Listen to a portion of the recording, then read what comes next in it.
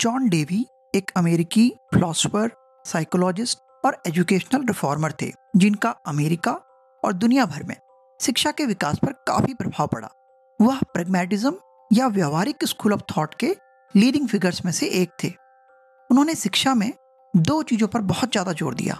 Number एक practical experience और number दो साइंटिफिक इंक्वायरी पर।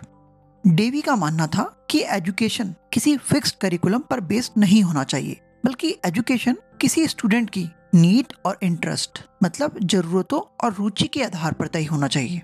उनका यह भी मानना था कि एजुकेशन डेमोक्रेटिक और इंक्लूसिव होनी चाहिए। स्कूल एक तरह की कम्युनिटी सेंटर्स की तरह होना चाहिए, जहाँ से कम्युनिटी को रिसोर्सेज मिल सके और वह सोसाइटी को सपोर्ट कर सके। ऐसे सोचिए कि स्कूल से अगर एक स्टूडेंट समझदार बनकर निकलता है तो वह आगे जाकर कम्युनिटी यानी सोसाइटी की सेवा करेगा या करेगी? भले ही वह साइंटिस्ट बनकर हो, या फिर फार्मर या फिर बिजनेसमैन बनकर हो, या हो सकता है एक अच्छा टीचर बनकर हो। जॉन डीवी के चार आइडियाज़ ने एजुकेशन पर बहुत प्रभाव डाला। ये चार आइडियाज़ थे experiential learning progressive education integrated curriculum और टीचर एज अ फैसिलिटेटर चलिए देखते हैं कैसे।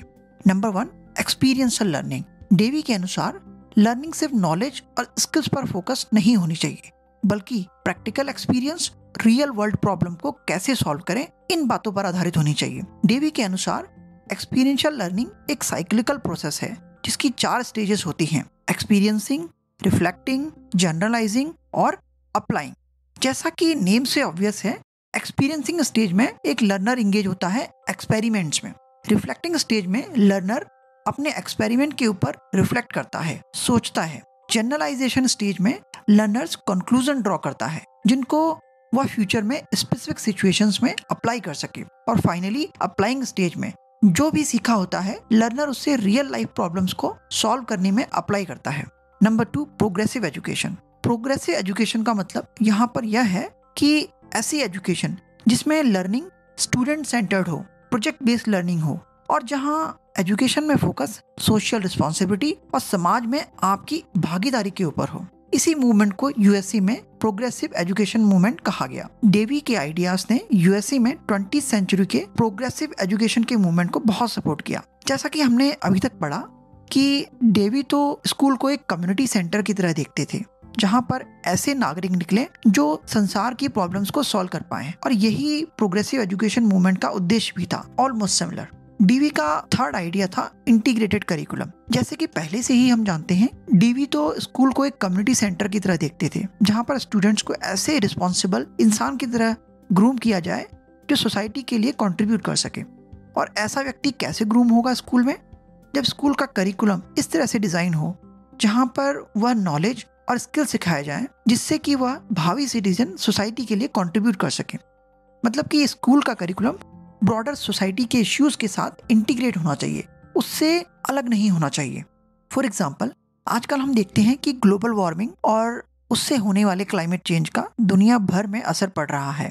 अगर डीवी के अनुसार चले तो ग्लोबल वार्मिंग का टॉपिक स्कूल के सिलेबस में होना ही चाहिए, ताकि स्टूडेंट उससे सीखें और भविष्य में इस समस्या का निदान करें। सोचो, अगर भारत में स्टूडेंट्स को ग्रेजुएशन तक भी ग्लोबल वार्मिंग के बारे में ना पढ़ाया जाए तो डीवी का फोर्थ आइडिया था टीचर्स एज फैसिलिटेटर मतलब कि टीचर का रोल एक फैसिलिटेटर की तरह डीवी का कहना था कि टीचर को एक इंस्ट्रक्टर की तरह नहीं, बल्कि फैसिलिटेटर की तरह होना चाहिए।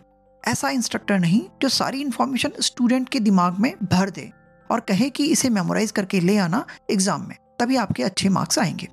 बल्कि टीचर को ऐसा फैसिलिटेटर होना चाहिए जो स्टूडेंट को हेल्प करे, उनके इंटरेस्ट को एक्सप्लोर करने में वर्ल्ड के बारे में उनकी खुद की अंडरस्टैंडिंग को डेवलप करने में, ना कि अपनी सोच स्टूडेंट्स के ऊपर थोपने में। एक क्यूरियोसिटी मुझे भी है। चलिए आप लोग बताइए, आपके स्कूल्स में टीचर फैसिलिटेटर थे या फिर एक इंस्ट्रक्टर थे? और अगर कोई टीचर अच्छा फैसिलिटेटर था या थी तो किसी रियल लाइफ एग्ज़ाम्पल से बताइए कि वह किस तरह फैसिलिटेट करते थे। चलिए एक छोटे से एग्ज़ाम्पल की सहायता से समझते हैं कि रियल लाइफ में जॉन डेवी का स्कूल किस तरह चलता होगा।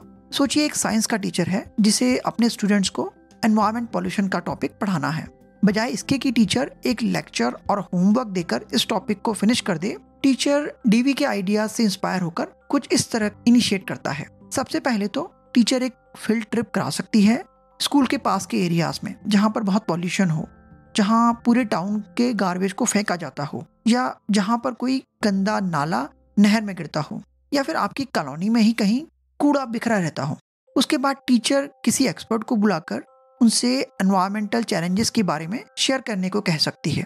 इसके बाद टीचर बच्चों के छोटे ग्रुप्स बनाकर उनसे कहती है कि आप अपनी मनपसंद का एनवायरमेंट चैलेंज लें और उसको कैसे रिजॉल्व कर सकते हैं उस पर रिफ्लेक्ट करें और अपना प्रोजेक्ट बनाएँ। कोई ग्रुप शायद हाउस होल्ड वेस्ट सेग्रीगेशन पर काम करे, कोई वाटर पॉल्यूशन पर etcetera etcetera and finally groups अपनी अपनी फाइंडिंग्स को क्लासरूम में शेयर करें। उसके ऊपर डिबेट करें, जिससे कि उनकी इस टॉपिक पर बेहतर समझ बने। कुछ ऐसा ही होगा जॉन डीवी का स्कूल अगर आप ध्यान से देखें तो इस तरह के स्कूल एजुकेशन में जॉन डीवी के सभी आइडियाज़ इंक्लूड होते हैं ऑलमोस्ट जैसे कि एक्सपीरियंशियल लर्निंग यहाँ पर है प्रोग्रेसिव एजुकेशन है रियल वर्ल्ड प्रॉब्लम्स को सॉल्व करना और इंटीग्रेटेड करिकुलम भी है।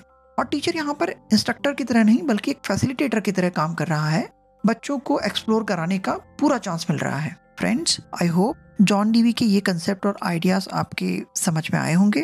फिर मिलते हैं। Keep learning at the good life